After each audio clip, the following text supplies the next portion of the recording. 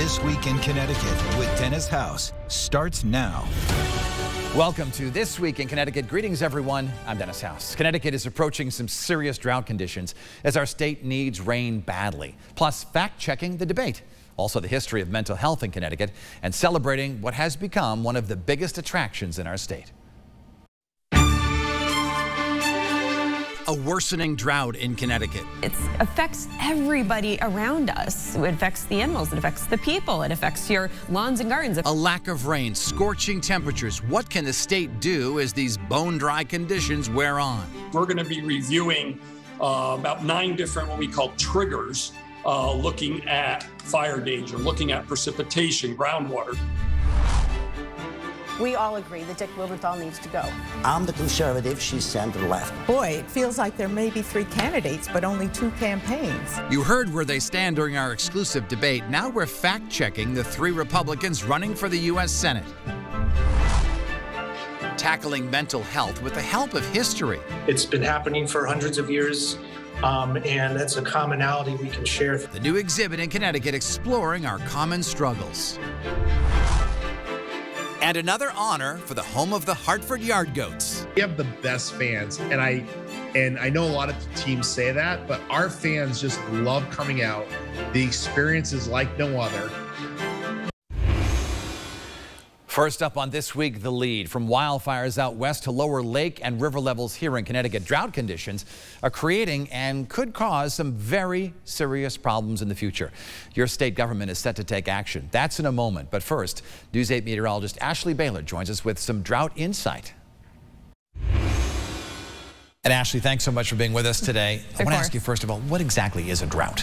So a drought is a lack of moisture that affects people, it affects animals, it affects vegetation over a sizable area. And of course, this is not the first time we've seen a drought in Connecticut. This has happened before. It happened just a couple of years ago. So we have been through this multiple times. As you look ahead at the next eight days or so, what does it mm -hmm. look mm-hmm. like?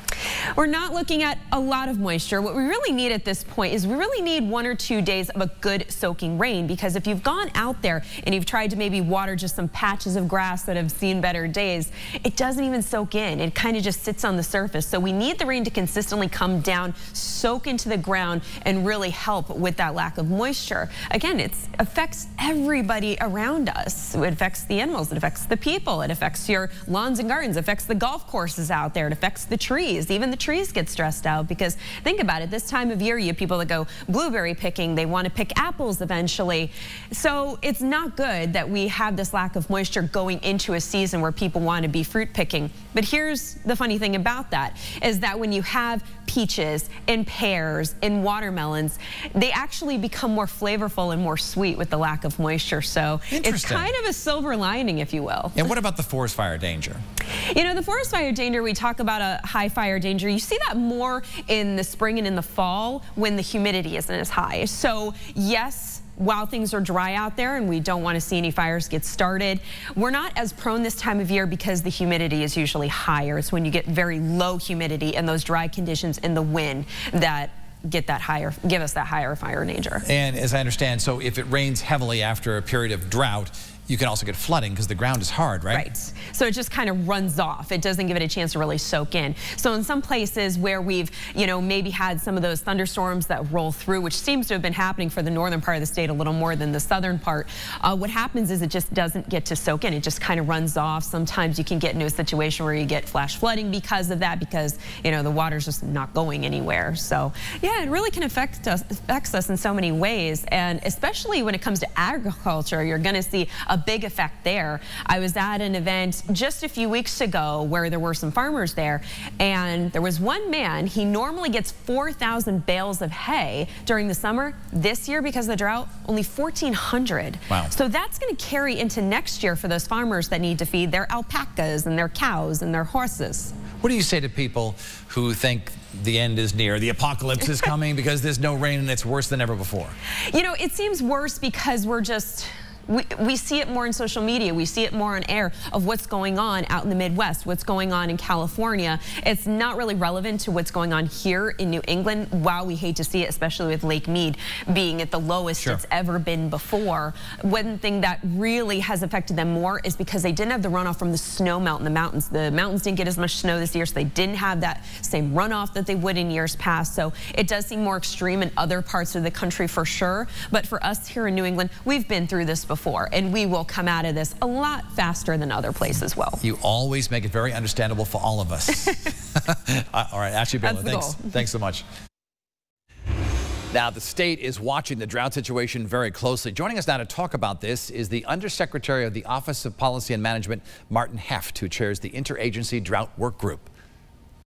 And Martin, thanks so much for being with us here today. Good afternoon. Thanks. I want to ask you, first of all, what is the state's response to the drought situation? The Interagency Drought Work Group is set up through the Water Planning Council, and we look at you know, the Connecticut Drought Response is a plan that was uh, revised in 2018, which has five stages to it.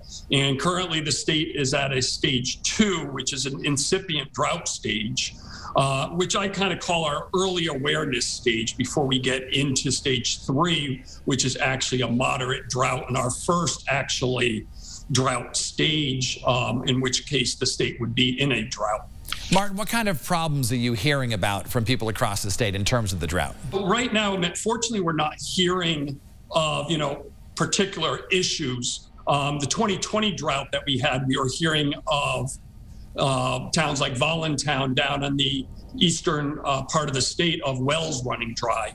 Um, we had agriculture issues. We had a federal disaster um, declaration done because of agriculture crops um, we're not at those stages yet, so but we are anticipating that we could be moving towards those if we don't receive the needed rain, you know, um, in order to keep us out of the drought. So if we don't get rain soon, what kind of action will the state take? The Interagency Drought Work Group meets on a monthly basis or more as needed.